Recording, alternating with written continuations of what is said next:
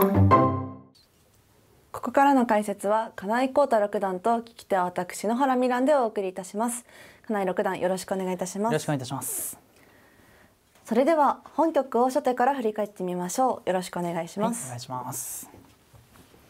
はい、えー、本局は藤井名人の先手番でね、はいスタートいたしました、えー、初手2六歩と、はい。進みまして3四歩とそうですねまあ、藤井名人が、えーまあ、最近といいますか、まあ、ずっとですけど、まあ、先手番で角換わりをね得意としている中で、はいまあ、豊島九段がそれを受けて立つのかあるいは、えー違う作戦あるいはだとすればどのような作戦にね、えーはい戦型に誘導するのかといったところも毎局注目されるシリーズになっています。はい。で、えー、7六歩はいと突きました。えー、4四歩と。はい、角道を止めまして、まあこれで角が交換になることはなくなりましたね。はいはい。で、えー、2五歩とはい、突きまして、3三角、はい4八銀、3二銀。はいここまでは何を指されるのかなあそうですねまだこれは。は居飛車も振り飛車もどちらもあるというこう後手の豊島九段の出だしでして、はい。まあ、豊島九段居飛車党ですけど、まあ、本局どうなっていくのかなっていうふうなねちょっと注目の出だしでしたね。はい。で、えー、6八玉とはい上がりました。で、8四歩と。はい、ここで居飛車というそうですねこのあまだわからないですかね。そうですね慎重な方だとまだわからないという見方をするかもしれないんですが、まあ、はい8四歩でね、まあ居飛車で、まあ、雁木の構えかなというような、はいえーある程度予想がねできるところでしょうか。はい。で、え3六歩とはいつきました。まああの雁木対策もねいくつかあるところですけれども、はい藤井名人はこの3六歩からね3七銀とする対策を、まあ、得意にしています。はい。で、8五歩とつきました。はい、7七はい、角で上がって歩交換を受けます。はい。で、4三銀はい、4三銀と。がありまして、3七銀と、はいまあ、先手としてはこの3筋ですね3三角と上がってるこの角のいる筋を狙って攻めていくというのがこの、えー指し方の、まあ、主な狙いになります。はい。で、3二金はいと上がりました。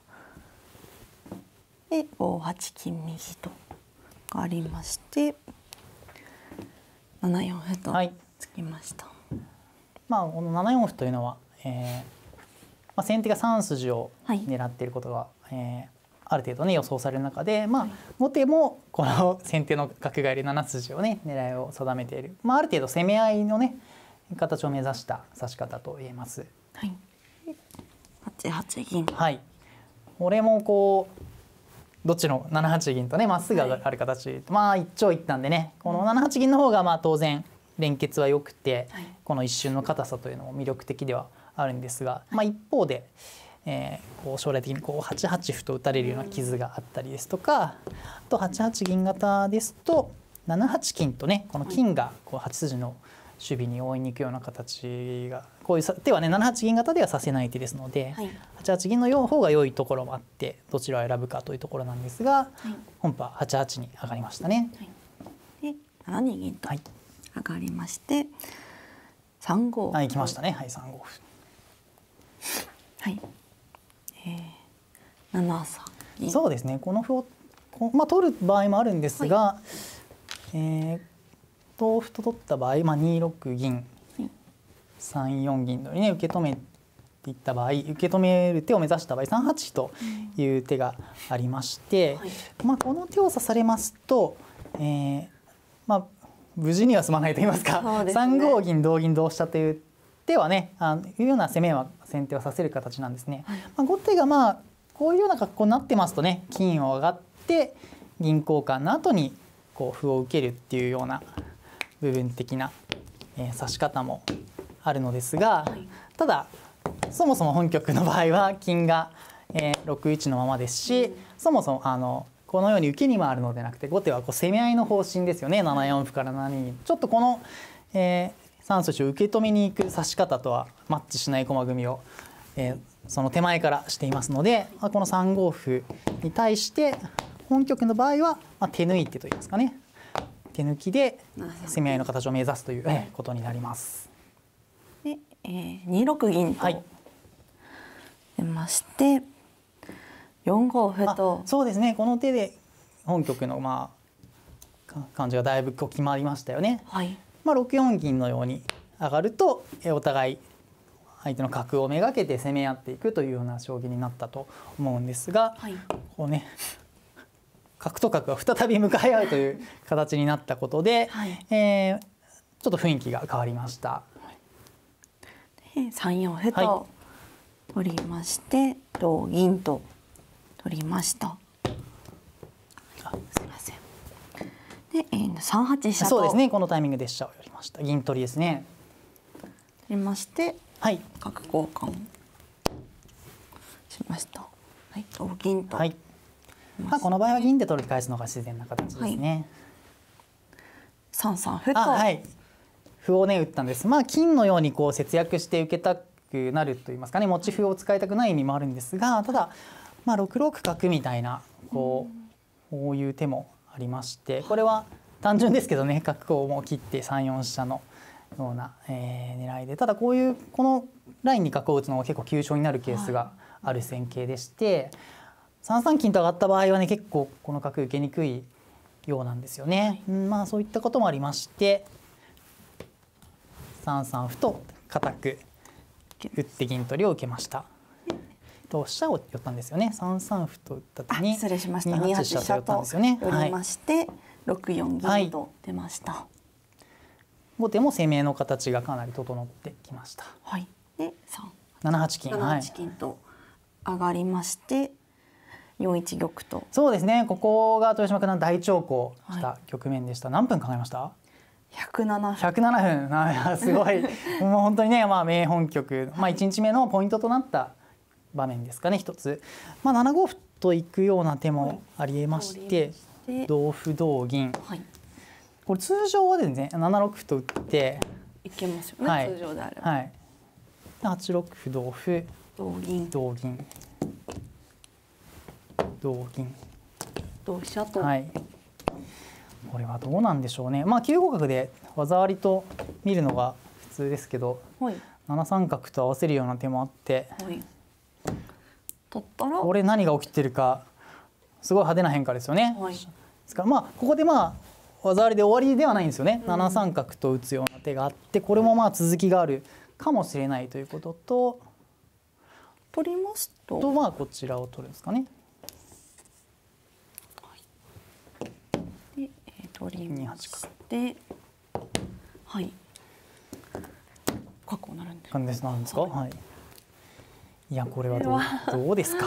すまずこれもねこうすごい派手な変化ですけどまあでもどちらかが圧倒的にいいかというと、まあ、ちょっと調べてみないとわからないなというような感じもありますしあと手順の途中になりますが、はい。と8六同銀とね先手が実は銀を取り返した場面。はい。ここでここでもここであるんですね6四に角を打つような手も、まあ、可能性としてはちょっとこれもどうなっているのか飛車銀両取りで、まあ、角を先手も合わせるのかこのルートでこの大手飛車ラインで対応しに行くのか、うん、こういうもしかしたら激しい変化もあったみたいで少し、まあ、インタビューで藤井名人がこの辺りあインタビューの手前ですかね。あの感想戦始まったあたりで、えーこういう激しい変化も考えておられたというようなことをはい。名人が口にされていました。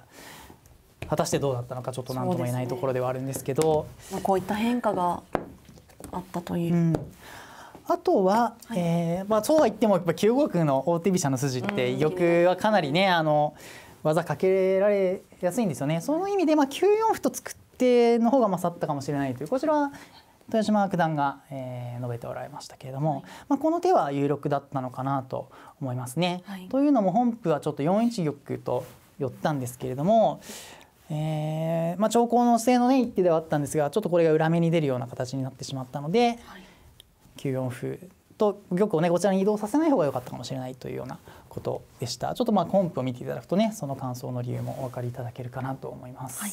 えー、本譜は三五歩とはい打ちまして四三銀ときました。で一五銀とそうですね歩打ったことでこの2三の地点の守りが減りましたので、はい1五銀といきまして棒銀ですね。そうですねうん。これでもうこれ1四歩とついても止まらないんです。この2四歩とついてしまって。取っても2三歩成といきますし同歩は同銀ということで、成功です、うん、後手としてもこれでまあ受けはねなかなか効かないという形になりました。はい。ということで7五歩と攻めにいきましたね。回りました、で6六銀とはい。6六銀もまあ読みが入っているなという感じの一手だとは思うんですけど、うんまあ2四歩とねシンプルにいく手も有力だったのでしょうが、はい。おそらくまあ5五角と打つような変化をね後に警戒したんだと思います。はい。まあ角を打って角を合わせて角を下がるというようなね、はい。そういうような変化がまあありえたのですが、はい。まあそれを消す方がより良いというようなね読み細かい読みをおそらく藤井名人はされたのではないかなと思いますね。はいで7六歩と、はい、6六銀と7六歩に2手の交換が入っていったんですよね。はい、2四歩とはいきました。え同歩、同銀。はい、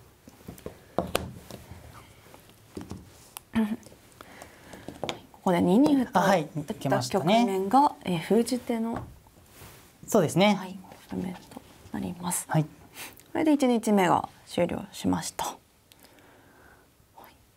い、で、えー本日ですね、封じ手はい、は藤井名人が封じた手が、1六角と、はい、角を打つ手でした。まあ2三歩とこう歩を打って、はい、こう2筋の突破をのね実現させる手と1六角と、はい。まあ2つ有力手があって、まあ、どちらかだろうというところではあったんですが、はえーまあ、今日の出演者で2三歩を1六角当てたのは野原さんだけだったみたいですね。私も2三歩だと思ってましたし、はい先発のねお二方も 1六角は予想できなかったということだったので、はいはい、野原さんお見事でしたこれは。朝気分よく来ることができました。ーね、そうですね。幸先がね、いいですよね。一手目が当たるとね。そうですねまあこの角がやっぱりこういういわゆる遠見の角というのは、まあ敵陣に打つ角と違ってこうちゃんとね働いてくれるかどうかっていうのが見通すことができないと使えなかなか打つことができないんですけど、まあこの場合4三の銀にこう睨んでおくことでこの後にまあやはり2三歩と合わせる筋にはなるんですけど2筋の攻めと組み合わさってかなり、えーこう厳しいこの角のラインであるということなんですよね。はい。で、まあ、藤井名人も部分的には攻めがうまくいきそうな形では、に思っていたというような、はい、感想を述べられていました。はい。で、えー、5二金と。そうですねでまあちょっとピンチになったのは後手の豊島九段ですよねちょっですね。とここをどうしのぐかっていうことになっていったんですけどはい。えー、2三歩と、はいこれも厳しい。この、はい、角打ちと金上がりで、まあ、先手角をね投入しただけの価値があるのかっていう感じもするんですけど後手まあ金上がるのは4三の銀を守る意味で上がったんですけど下の横利きがちょっと止まった意味もあってさらに工夫した受けが必要になったんですね。はい。で苦心の一手が3一玉と。3一玉とねちょっとこれはもうまともな受けはないということで、はい。えーまあちょっと奥の手というかね、はい、3一玉と、えー寄って、まあ、後のね、えーまあ、なんとか先手の攻めを被害をね最小限でとどめようというこの手が3一玉でした。はい。で、えー、2二歩成とはい、取りまして、同金と。そうですね。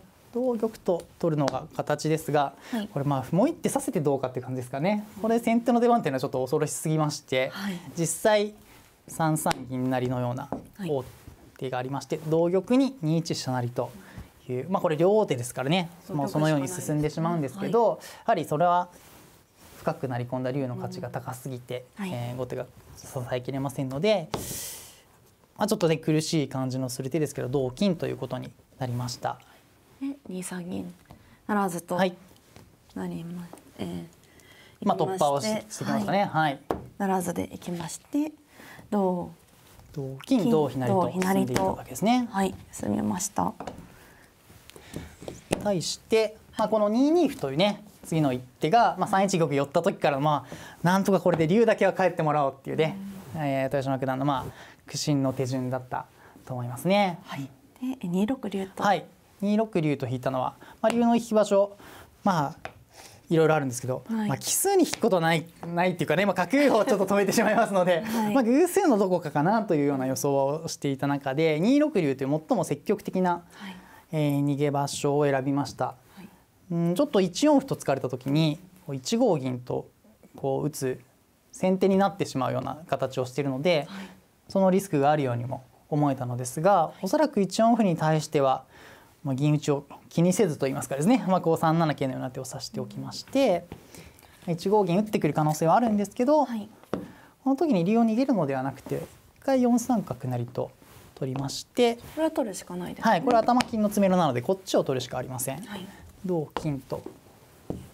そして手間竜を、まあ、縦に逃げておくんですね。縦に逃げておくとこの打った銀がですねちょっとこうなんとも働きの悪い働きが悪い上にこう1六と突かれると次取られてしまうということで、はい。これ一瞬角銀交換なんですけど、ちょっと追いついてないのかなっていうようなところがありまして、はい。うんおそらく藤井名人の方もこの1五銀の筋は恐れなくて良いという判断になりまた豊島九段の方もちょっと、えー、1四歩とついても銀打ちは良い狙いにならないと判断されたのではと、えー推測します。はいえー次の手が三二銀打ちといそうですね。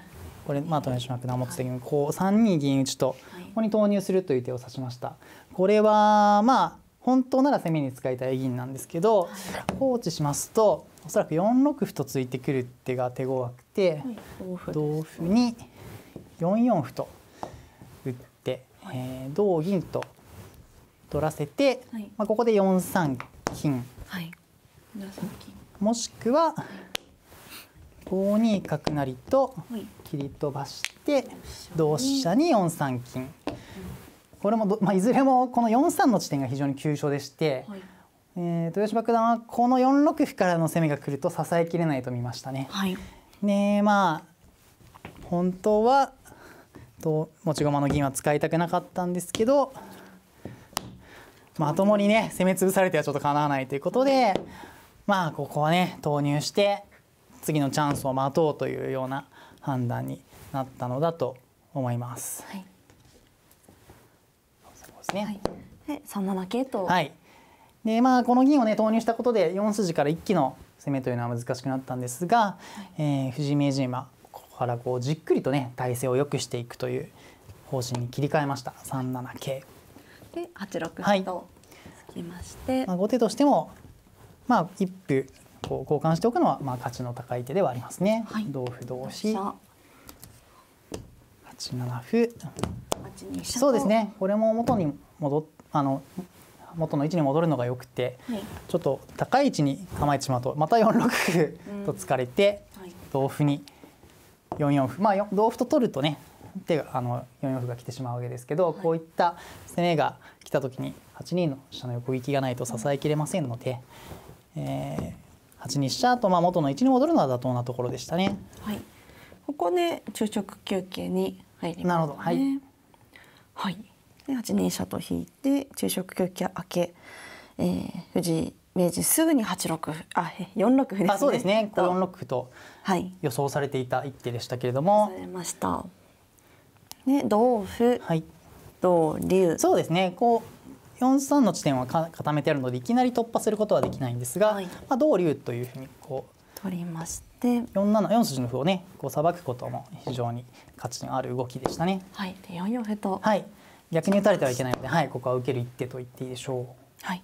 でここで二六竜と。う。はい、うん、この辺りのね指し回しがさすが名人というはい。感じが、これがねあのしばらく経ってみて分かることなんですよね。この段階ではあ渋い手を指しましたねっていう感じだったんですけど、はい。これがやっぱり、うん、進んでみるとさすがだなという感じの指し回しでした。この辺りをね。はい。はい。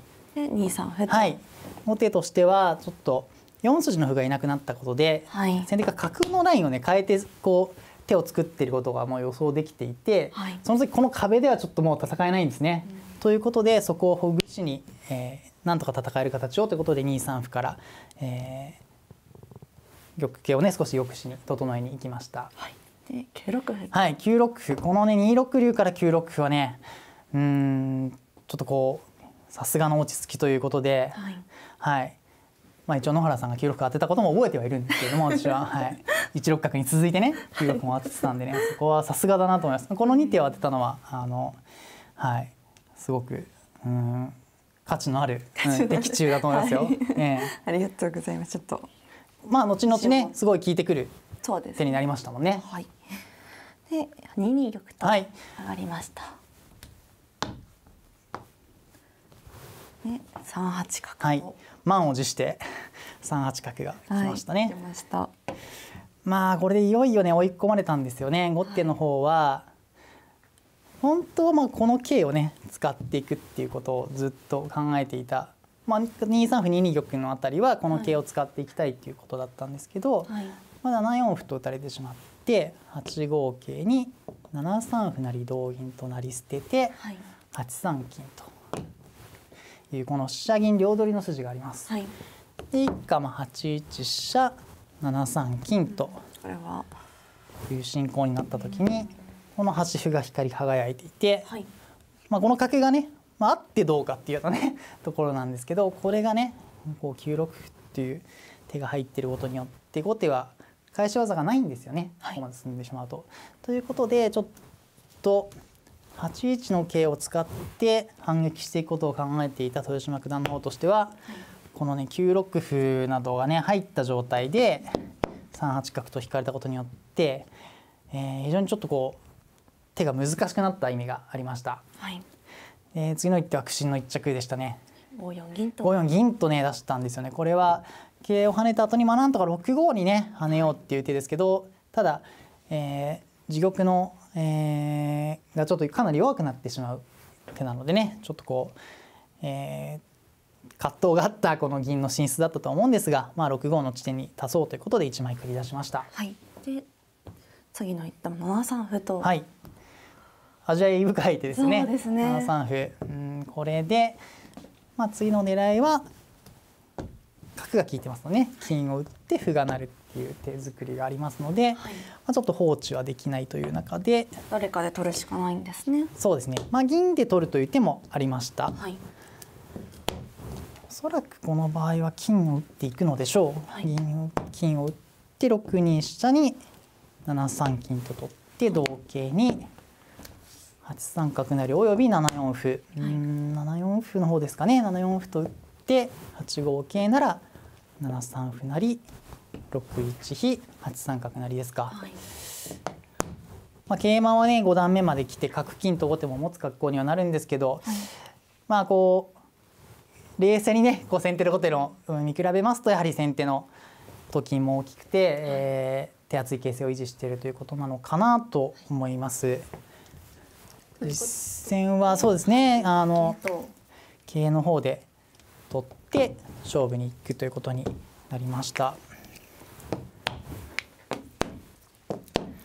まして7四歩と、まあ、ただそうですね。7三歩と打った時からの先手の狙いですよね。7四歩と打って6五はい桂6五桂7三歩これが狙いの？そうですね。はい。これがこうね7三歩と最初に打った時からの、えー藤井名人の読み筋でして、まあ、ちょっとこれ、まあ、同銀は6五銀、はいかといってまあ飛車を逃げるのもまあ縦8四8一あるんですがちょっとこうなんて言うんでしょうねこうと金を残して先手に手番がまた回るということになりますので、まあ、7四とのような指し方された時にやっぱりと金が残るのも厳しいなっていうところで、まあ、選択肢がないわけではないんですけどちょっとどれを選んでも、はいうん少し好転しないなっていうところが豊島九段にとっては厳しいところでしたね。はい同銀と応じる手を選びました。6五銀とまあ当然これは先手に桂馬を取られてしまうんですがね、まあ8六歩という手が。まあこれがねまあどのぐらいの手かっていうことだったんですけれども、まあこの手に対する、えー藤井名人のこの後の対応は非常に的確でした。7六銀とはい。取りまして、7五歩とはい。打ちました、8三金とそうですね。この7六銀と歩を取って角を通して7五歩の瞬間が銀取りですけどちょっとね甘いので、この瞬間に8三金と飛車を押さえに行くっていう手順が非常に良かったですね。はい。これは取りますはい。7六歩と取る手もありますのでやってみましょう。おそらく8二金と飛車の方を取って同銀に7二飛車と打つということなのだと思います。金銀2枚取られるんですけどね。ただここでこの下方で使って早速両取りがかかりまして、はい。まあ節約すると、まあ、5二の金はねちょっと取らせるわけにいかないという中で銀引きはこう銀を取られた後にこの竜入りがね3一銀のこう狙いができて厳しいですし、まあ、4一金投入すれば自玉は一番持つ格好にはなるんですがやはり8二成と取られると、まあ、2枚の竜がねありますので、えーやはり先手が手厚い形勢ということが言えそうです。はい。ということで8三金には我慢したんですね。7六にの銀を取るのではなくして8一飛8一飛とはい。急いでねこれ7三金取ると7六歩でちょっと嫌な格好になるところですね。先手が気をつけなければいけないのははい。8六歩同飛車となってしまう。この形だけは先手は危なくて桂取りの狙いとそれを守った時のこの王手飛車王手竜取りですね。はい。はい、まあ、王手ですから相手しなければいけないんですけどこれパッと素抜かれてしまうので、うん。8六に飛車を飛び出される展開だけ先手はまあ逆転負けのね、はい。あのこう危険があるというぐらいのねそれをそこだけは避けなければいけないっていうことなんですけれど実戦は8三金8一に対して7二金。うん、次の手この7二金もあの柔らかい頭の出でねこれやることによってちょっとまあ得するということなんですよねこの後の手順の中でね。で8四飛車とはい、逃げたんですけど、え7五銀と。はい、これがまあ下取りにね手順になりまして、い。よいよ踏み込まざるを得ないですね。そうです逃ねげ回ると銀引かれてもう全てを こう刈り取られた後にこの銀まで取られてしまうっていうことになるので、まあこれはねもう7五銀の瞬間は勝負に行かざるを得ないっていう格好ではあるんですけれども。成と取りまして8四銀、はい。7八。一回そうですね。王手で金を取るところですね。同玉。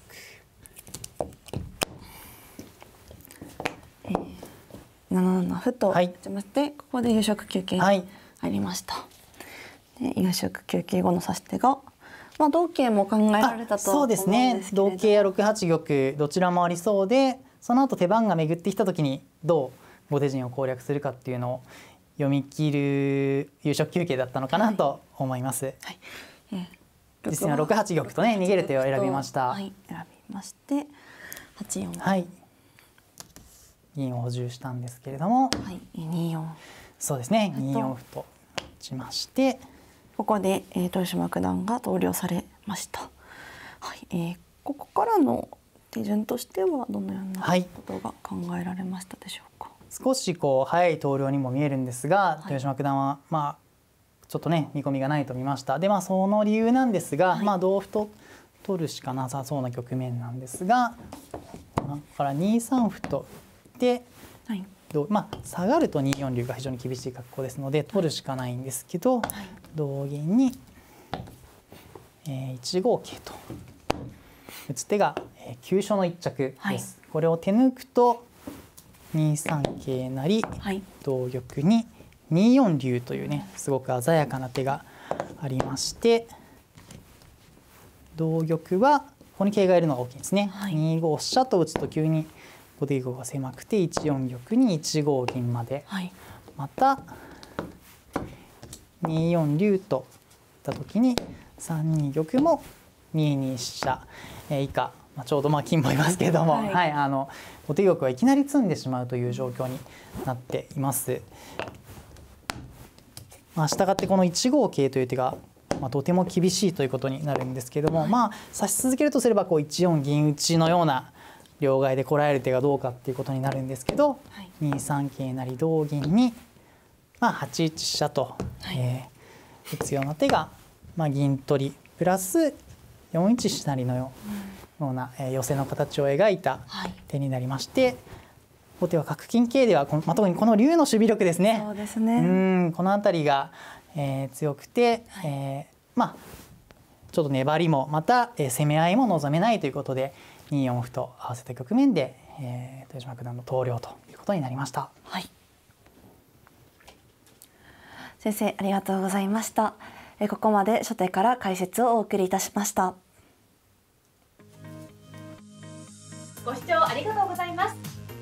アベマアナウンサーの西澤由香です。アベマならご覧の番組をフルで見放題。詳しくはここをクリック。